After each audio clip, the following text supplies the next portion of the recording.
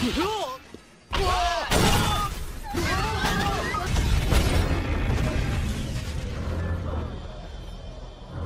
つの間にこんなものが？東京タワーみたい第二東京タワー。墨田区に奪われた夢をもう一度だよ。バグり物このタワーから発せられる電波様特製バグり物電波は全ての通信。何？お前の好きにさせてたまるか！あ電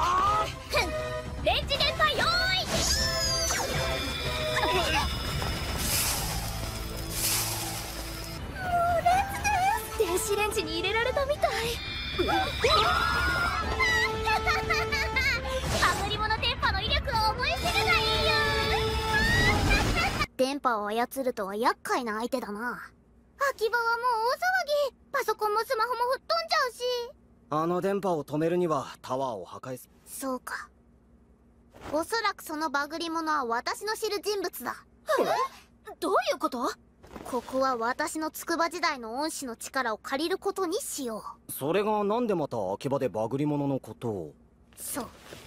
あれはにゅんにゃん年前のことになるか。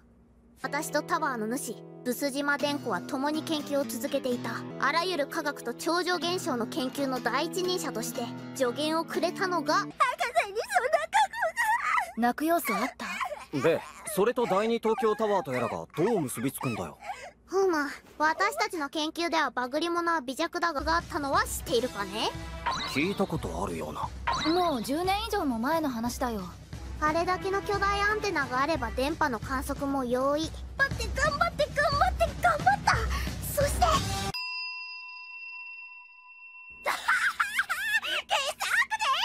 だからタワーにこだわるんだ。全財産を失ってからブラジルに渡り資金を稼ぐために今はガリンペイロをしているのだ。ガチクペイロガリンペイロって？アマゾンで金掘るやつだろ？以外の通信手段が必要となる。それ以外の？無線だ！そのガリンペイロ博士と通信する唯一の手段。それは無線だ！でもブラジルって地球の反対側でしょ？無線で通信なんて本当に可能なの？